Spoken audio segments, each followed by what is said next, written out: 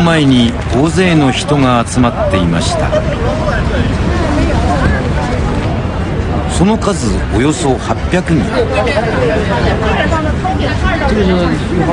診察を受けようとやってきた患者とその家族です。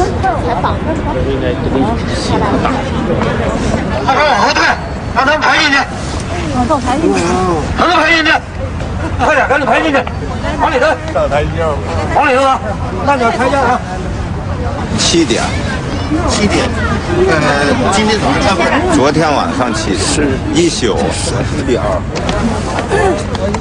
気温は氷点下8度凍てつく寒さです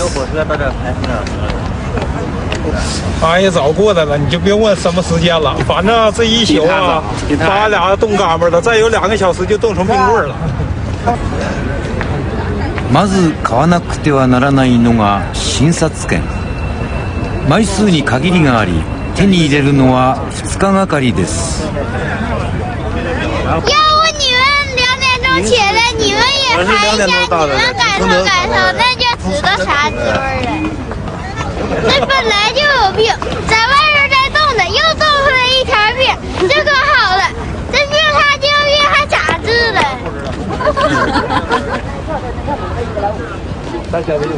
診察券を売る専門のダフ屋までいます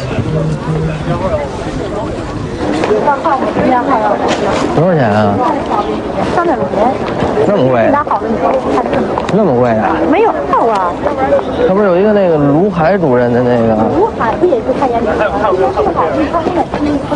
他管你到这种最好的，他们能有卢海能有他眼睛。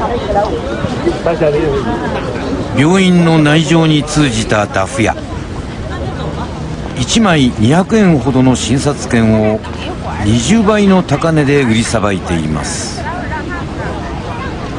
哇，这玩意儿越弄越多啊！这玩意儿，你看它这里面的样号不样号不，净是问这个的。你样号不要，你样号不要，你样号得得三百块钱。你说你说老百姓谁吃得起呀？你说？診察券を売り出す7時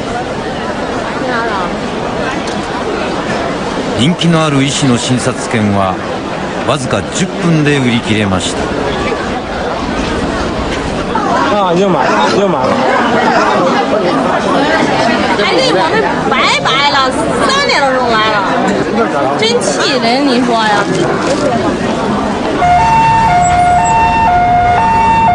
北京の病院に患者が1人運ばれてきました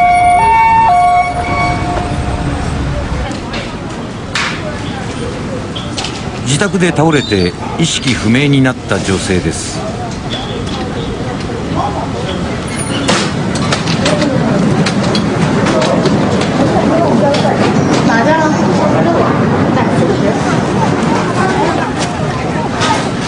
病院に到着するとすぐ付き添いの家族に料金の請求です。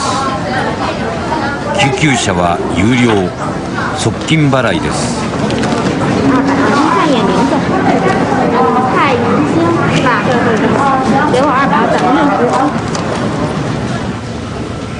救急処置が始まる寸前？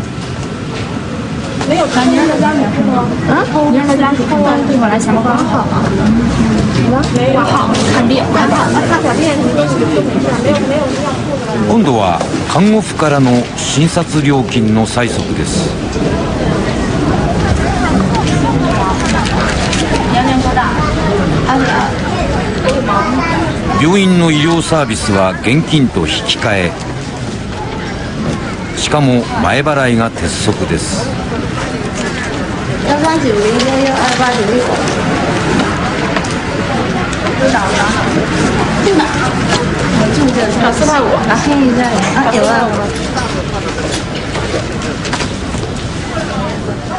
入院のための搬送ベッドにも高額の保証金が必要です我先给你先买是吧？然后待会儿取的时候再按那小时。医療保険が整備されていないため医療費は多くの患者が自己負担です？かつて医療を国が無料で提供してきた中国しかし制度は一変しました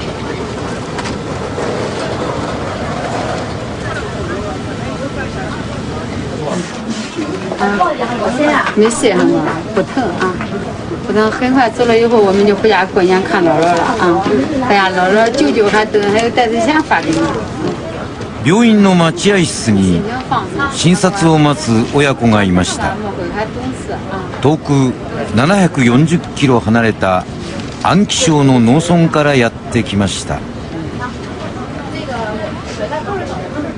嗯，开始发现这小孩眼睛有点，好像有一点不正常，我们就带他到诊所里去诊断了。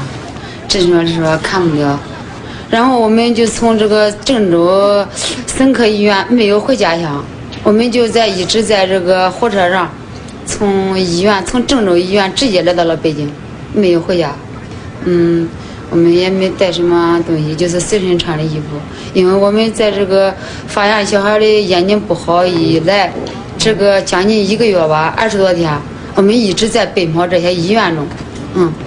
啊，我也很为孩子很着急，因为他的眼，怕他眼失去两眼失去光明，我想尽快的给他治疗。挂眼底专家，眼底。一家は夜行列車で北京に着いて徹夜で並び診察券を手に入れました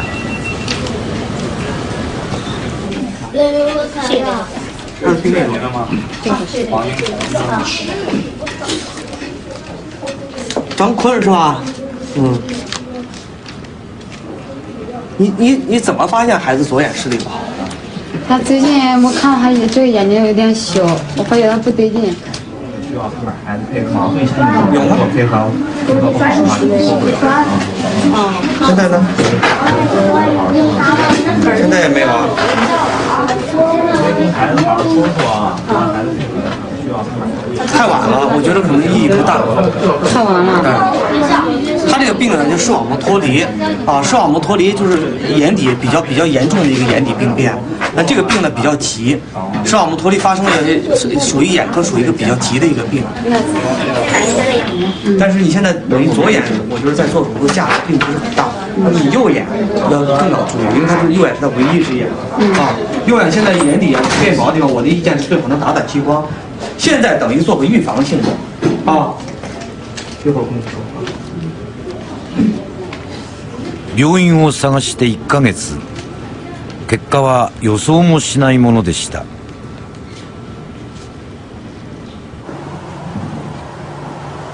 如果治疗的话，现在会不会就是这该咋了办？我该咋了办？老天爷不公平！老天爷简直不公平嘞！这么苦的一个孩子，为什么他看不到东西了呢？现在告诉我该咋了办？我该咋了办了？他说不吃，他说不吃。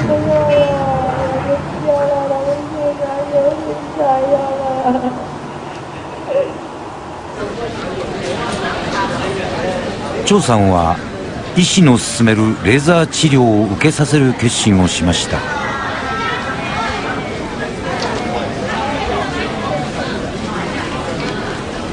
しかしそれに一体いくらかかるのか見当もつきません。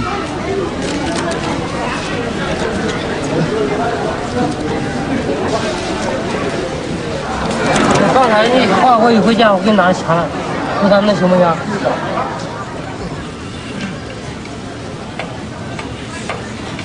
料金8200円。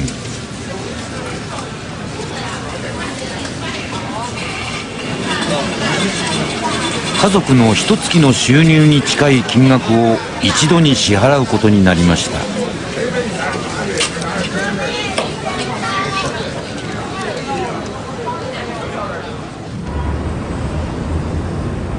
ベッド数1600床の同人病院。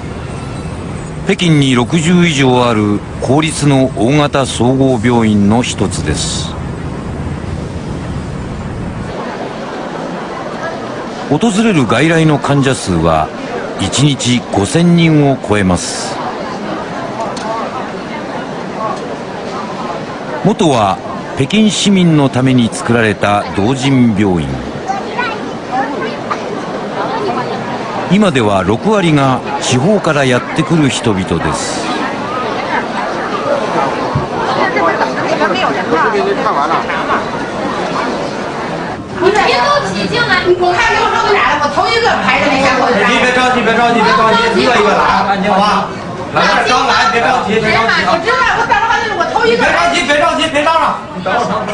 因为你第一次进去在你后面。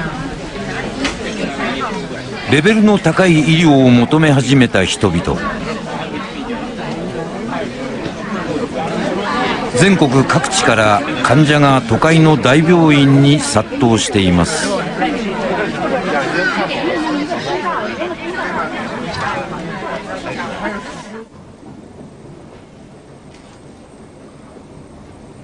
同人病院の菅徳民院長です。就任して8年になります。地方の患者が増える中で医療費を前払いにしました我们在中国确实有很多人没钱，或者钱不多，他又慕名到大医院来检查，那么就看完病可能不交钱跑了。你到他家一看，他真没钱。可是如果这些病人多了，医院就自负不了，承受不起。所以为了避免这种现象，那就采取了 分段计费，那才能进行下一步的操作。这就为了减少医院运行过程中的亏损，啊，没有理由的亏损。而这一部分亏损没有任何补贴，所以医院就必须要把这个这种亏损的漏洞堵上，那采取了这么一些措施。かつては同人病院も全て国の財政で運営されていました しかし改革開放後国は膨らむ社会保障費の負担に耐えられず病院への財政補助を減らしました。同人病院に対する補助は今では運営費全体のわずか5%に過ぎません。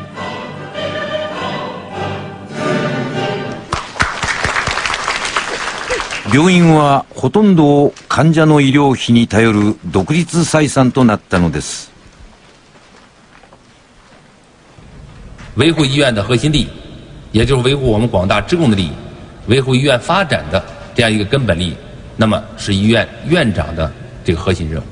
没有稳定的这个医疗收入，我们现在的整体的分配水平呢是保证不了。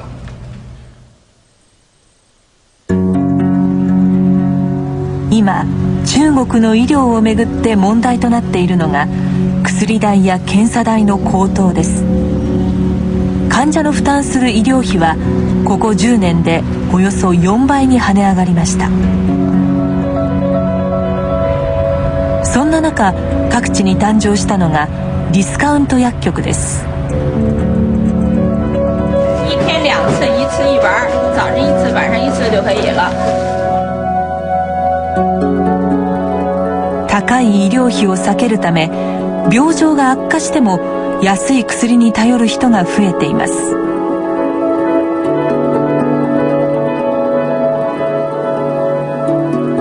政府の調査では病院での治療が必要な人の半数が病院に行っていないという報告もあります块钱不值当去医院，那不还 不够挂一号四五块，买盒药五块。不到医院去看看。嗯，不用了，很不不很严重。嗯嗯。呃，一般什么时候去？呃，要要去医院要什么样的情况才去医院呢？哎呀，感觉支持不了吧。病気がいよいよ重くなってから初めて病院に行くこうした患者たちが北京の大病院に押し寄せているのです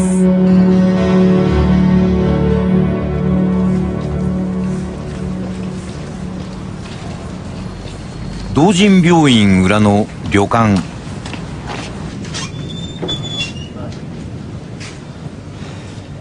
レーザー治療を待つ張さん親子です。一泊450円。一番安い部屋には暖房もありません。今までかかった子供の治療費は7万円余り。那我回来就是那个。嗯，你知道了，你又知道了，你看你啊。你说是你给我拿钱省了，嗯，就省这钱。嗯，好好好。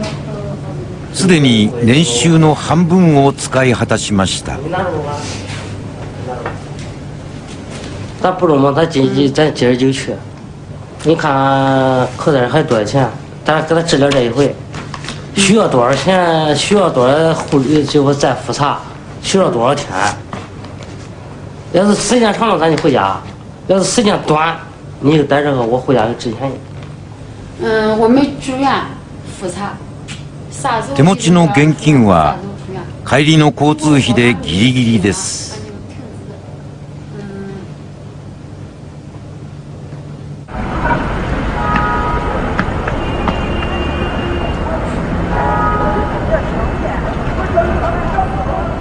3日後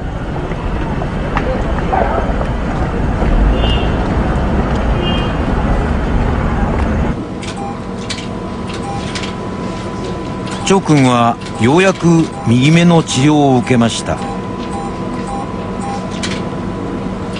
網膜にレーザー光線を当て病状の進行を防ぐ治療です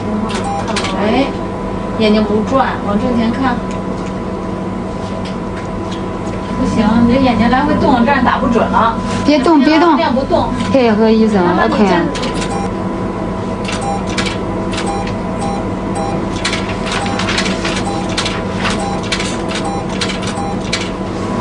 那吃东西不要忌什么不忌什么，什么都不要就是最近就是这一段让他少活动，少活动少活动，别做运动，嗯嗯，别做运动。完了，等两个星期以后复查再说，看情况。如果要恢复挺好的，长得挺好就没关系的。嗯，好吧，嗯，那就这样。那个都放这儿了，这就放这儿了。嗯，好好，好吧，好。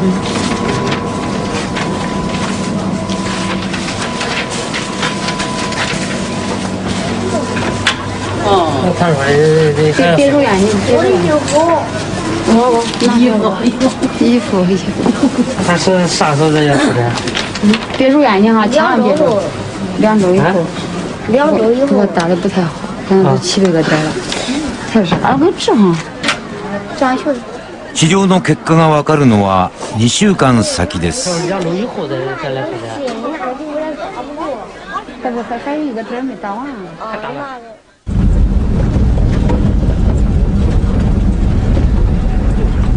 安徽省の五庄村北京から740キロ離れた張さん一家のふるさとです。張君が最初にかかった診療所。人口2000人のこの村で唯一の医療施設です。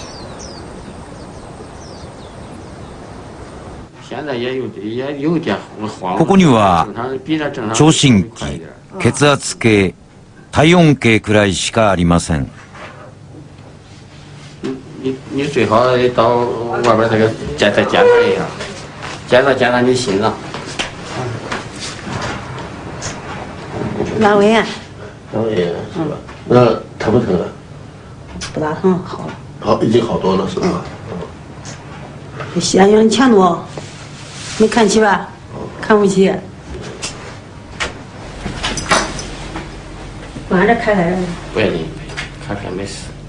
盲腸の治療といっても痛みや炎症を抑える点滴を打つだけです。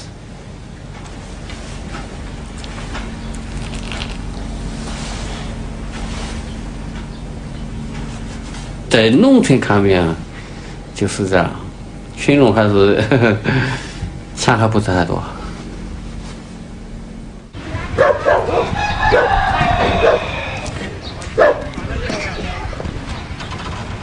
右目の治療を受けた張君？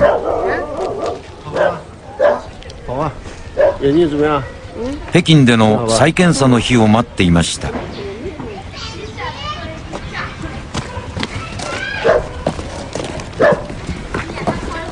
長君の家はこの辺りでは比較的大きな農家です。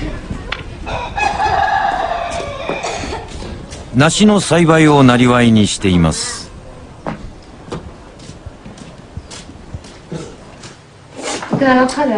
家族は8人。両親と祖父母。そして兄弟です。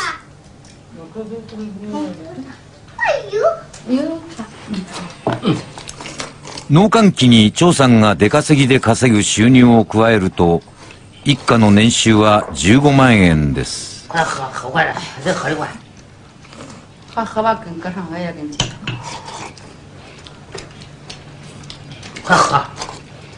那儿以前搁到这个村儿也算头数，现在不行了。嗯，现在我妈有病，给这孩子有病，钱都花完了，把盖楼没要钱。现在最贫，最穷一个了。没事，你坐着，你坐着，别起来，不要起来啊。裏の離れに張さんの両親が住んでいます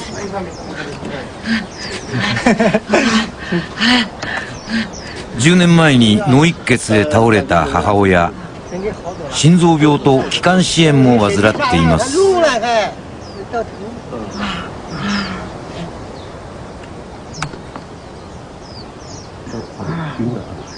たった一度の入院で張さんの年収の2倍の費用がかかりました。以来病院には行けず治療は家族がしています。你觉我有一点打到难受不舒服，就不敢再用了。嗯，わずかな蓄えも使い果たし薬代は親戚からの借金に頼っています俺儿小子，要不给我打针打针，我咋能会这样？俺这庄上这样都死掉，俺分两半就是了。现在小呃呃小坤有有有病了吗？俺儿媳妇有病，说俺儿媳妇有病，我有病，这这这脚好一点啊，这小坤人家又不好了，我脚这样难受，我没法能干，嗯，咋治？我说的，这这真是没一点法。病気が一家を苦しめています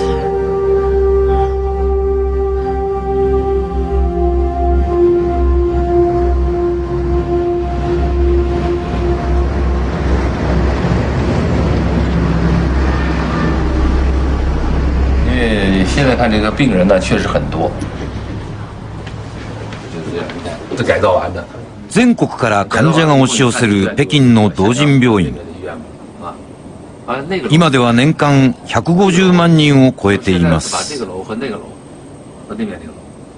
菅院長は病院を拡張するため向かいのホテルを5年前に買収しました三つ星だったホテルは豪華な病棟に改造されました。以来富裕層向けの医療に力を入れています。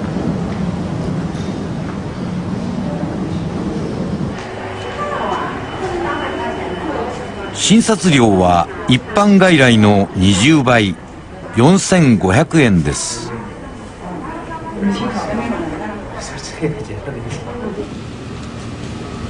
専属の看護婦がつき45人の医師が丁寧に診察します。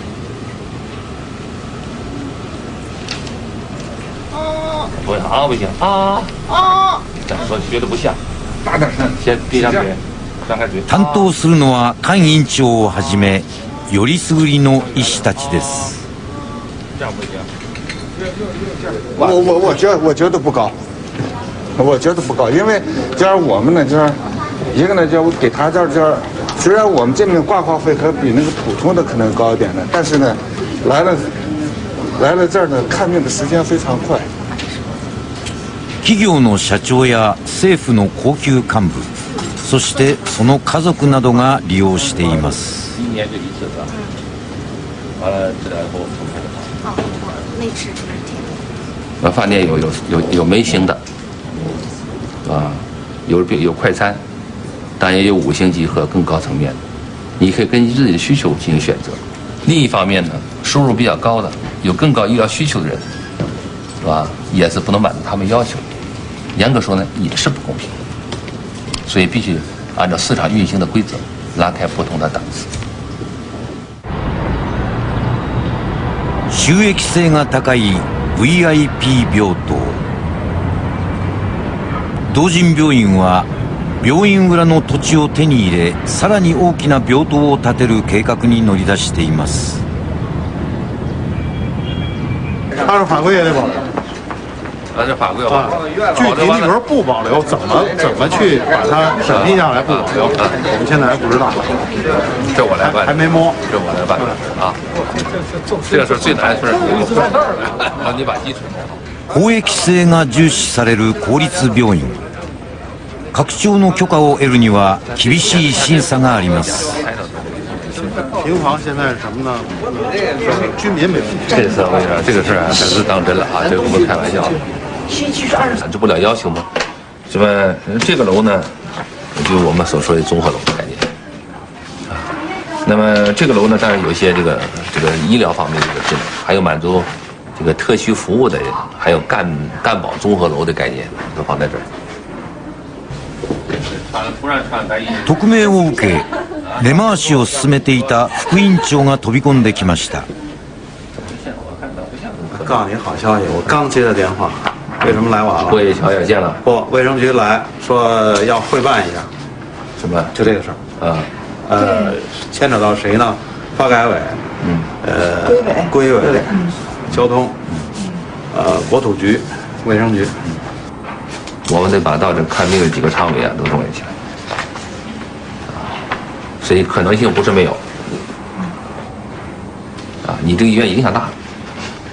他说你这没道理，总理都在做手术，那就这个事儿总理能不知道？啊，我是给总理说过，但总理没明确表态，他知道就行，但他知道就行，所以这都是一些机会。拡張の許可を得る上で鍵を握るのは政府に提出する事業計画書です。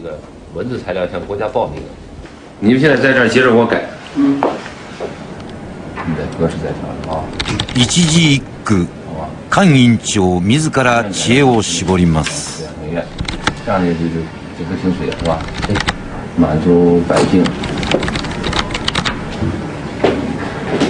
缓解看病难，满足民生需求，啊，是不是？这涵盖的面面广啊，缓解看病难。計画書は庶民の要望に応えることを強調する内容になりました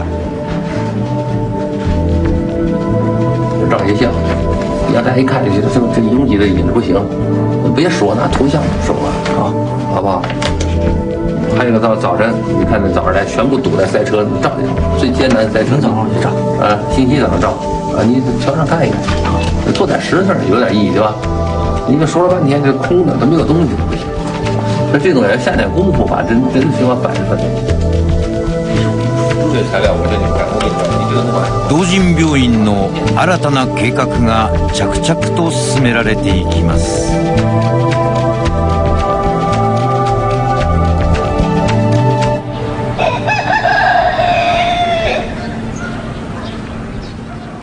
安徽省五庄村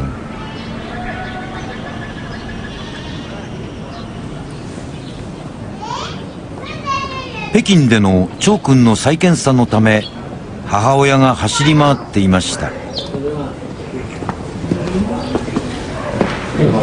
挺好，我想，我想借点钱，我就借钱。在这里钱。对，我想借点钱，但是你觉得？我也，我。也吃不好，也睡不好。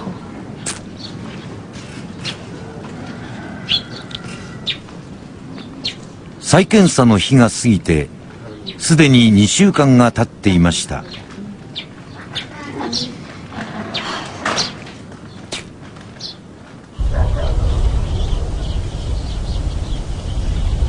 中国政府は5年前農村向けの医療保険を作りました。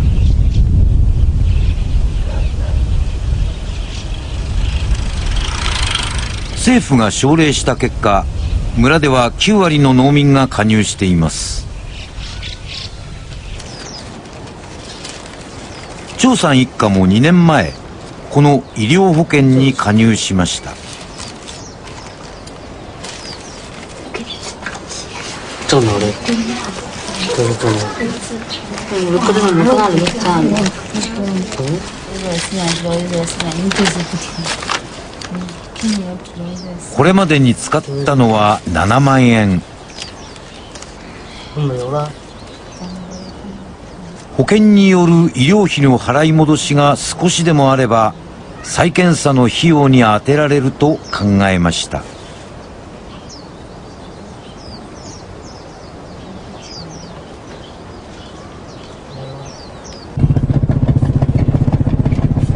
領収書の束を持って向かったのは医療保険の請求窓口がある地元の病院です。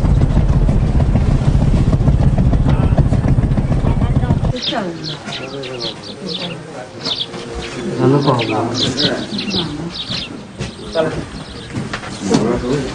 这个农老板可能嗯，哪还能报？哪哪还能报好，哪还不能报？在哪看？在玉生上州、上县、郑州，然后到了北京同仁医院。一直都是没人，没有住院。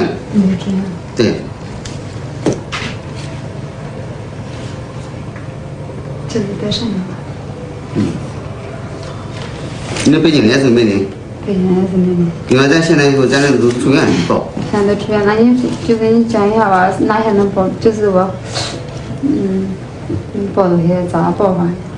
这是百分之二十保底方面的啊。払い戻しはできないという担当者在那个不，比如不在这个安徽省，咱这个现在上面有规定是住院能报，住院能报，能报对是吧？，没人现在还没有说咋报咋实行。嗯，没人就是我以后咋报咋成。哎，对，这些没人不能报。 现在没人，咱现在还没说，上面没有没下来这个文件，俺也不敢当这个家。啊。哦。谢谢。規定外だから払えないの一点張りでした怎么样啊？嗯，他讲这些都是都是不能报，呃，出院才可以报。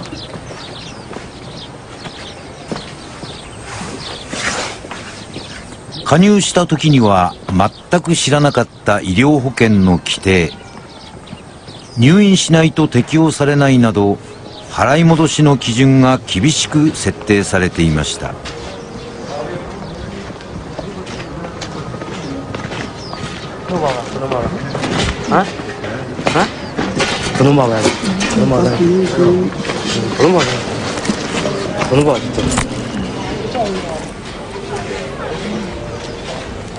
医療保険も張さん一家の助けにはなりませんでした走回去。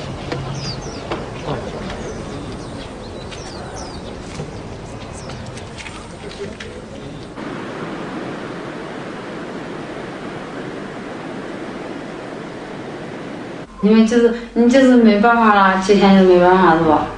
完了就是那。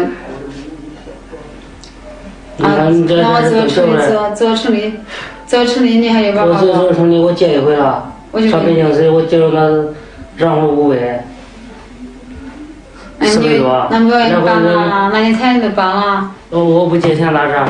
真是。借了这混腾的，都都没钱看了，我不知道给他借钱，我给谁借钱去？家有家有钱，我我我非得不对，你没想着办法，对，你这个拼的啥拼的啥去了？凭那啥？你家有啥？你看，要本来他那里我已经不能去再借钱了，是不？按照这种情况，我不可能再借钱了。嗯，不，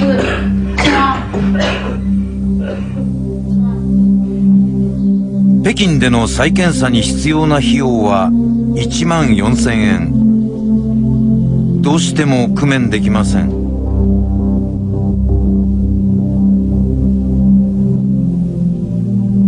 日にちばかりが過ぎていきます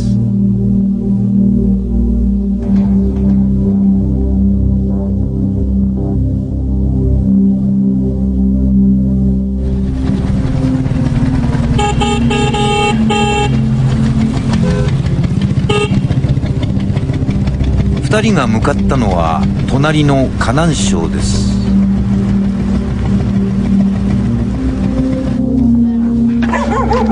これまで何度か借金をしていた妻の実家です。年老いた親。頼れるところはもうここしかありません 太吹了，那个啥嘞？快快快！看查查有多少？这都是这都是一升一点的，给你兑的，给你。母親が親戚から借金して集めた1万4000円でした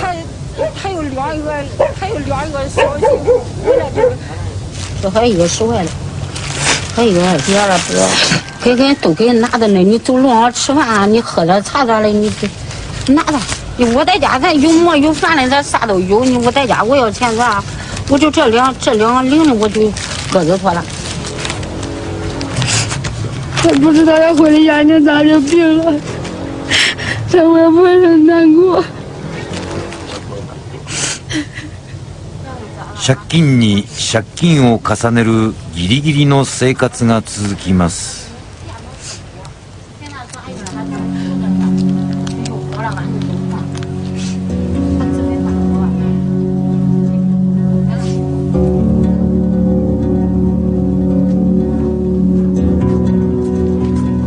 再検査の日を過ぎること3週間。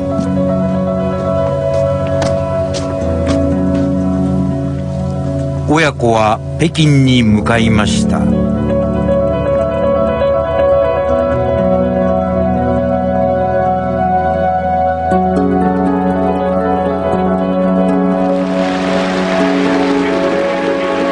経済成長の陰で取り組みが遅れてきた13億人の医療。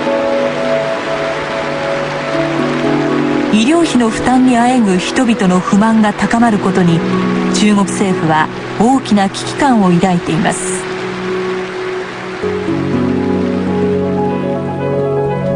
为群众提供安全、有效、方便、价廉的基本医疗卫生服务。我们要坚定地推进这项改革，让人人享有基本医疗卫生服。务。医療保険に力を入れることで対応しようとする政府。どのように国が負担するのか。どこまで市場原理に任せるか。長い議論が続いています。明確な道筋は未だ示されていません。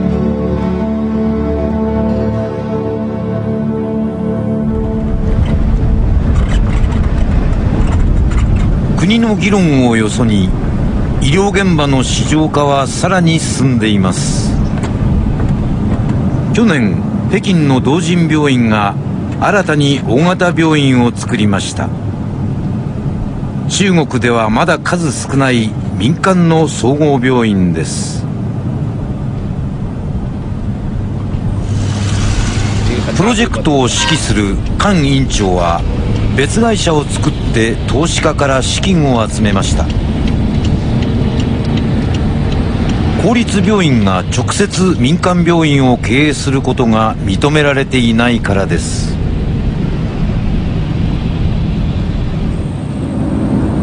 那么这种探索呢，会给整个这个医改啊带来一股新风，带来一种推动。我们要真正的从过去计划经济条件下的一个封闭的啊比较沉闷的氛围当中走出去。開業して5ヶ月同人病院が進める全国展開の第1号病院です患者は北京の同人病院の知名度によって増え続けています把个地方宽敞进去，新建你怎么说都多。对。将来你要规模大了，人再多也没问题，是吧？新医院就不可以了。この病院を任せたのは菅院長の教え子の医師ですアメリカで病院経営を学んできました民間病院は国の許可を待たずに最新の医療機器を導入し医師の数も増やせます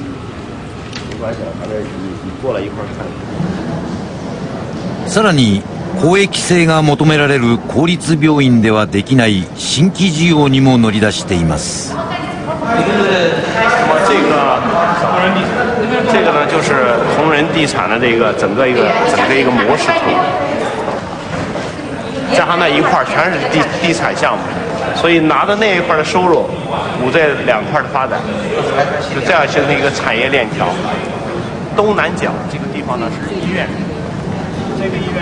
病院が所有する広大な敷地。富裕層相手の老人ホームや高級住宅を作っています。およそ45億円の利益が見込まれています。没有特别低的，那么应该说中国政府解决那种特别贫困的那块，应该是政府历来国际。国际惯例就是政府来解决这种低低端的，那么对于中级和高级这一块呢，那么他应该愿意啊拿出 extra money，那么放在这个高端的里边呢，同仁的地产，同仁的地产，同仁医院这边是同仁养老啊老年公寓，这样的成为一个同仁同仁实践。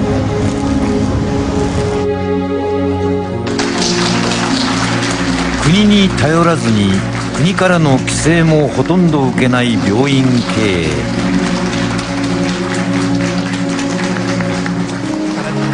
同人病院は全く新しい病院の形を模索しています叫什么呢？叫如何实现最小成本和最大效益化。没有指标就没有要求，没有指标。就没有加强过程管理的内涵，所以指标是一定要有的啊！努力创建一流现代化的大型综合医院，这是我们的总体目标。我希望咱们这个南京同仁医院在国家项目立项上，那尽快啊有零的突破啊！给点鼓励怎么样？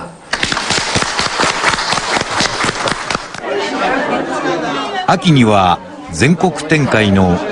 第2号病院が開業する予定です。これまで広く患者を受け入れることが求められてきた中国の病院。医療の差別化がすでに始まっています。你国家也不可能拿出那么多钱满足一个世界第一人口大国的这个基本医疗需求，这是目前的很大的一个难题。那么在医疗卫生领域当中呢，又适应了这种市场经济的发展，这个这个基本的这个态势，但是呢，又没有体现政府对医疗的宏观调控，所以在这个发展过程中，那么过度市场化的结果，病人利益就受到伤害。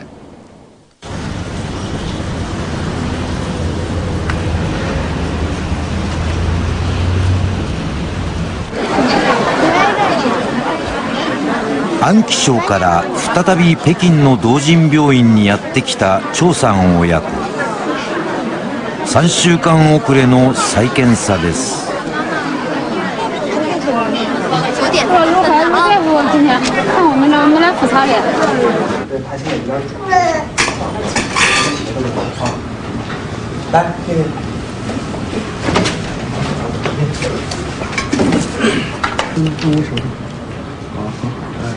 看这看，看这看这看这。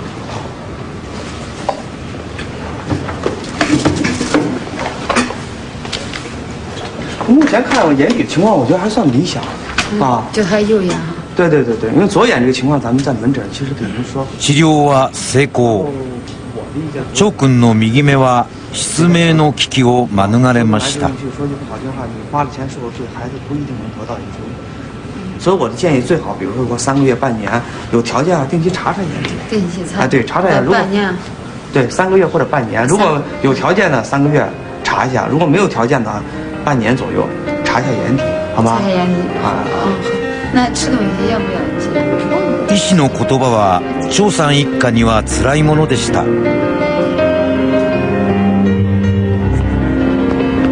供の治療と引き換えに抱える多額の借金。ふるさとに戻ると厳しい現実が待っています。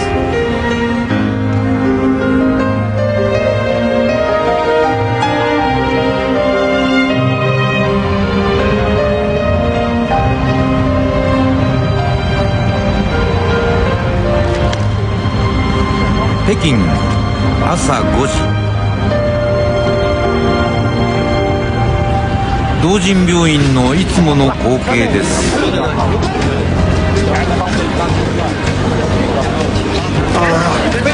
我们孩子没办法，是吧？啊，看病有多难啊！我得，光得一个火车，乘车过来，这个站了四个多小时，没办法。对对对，嗯。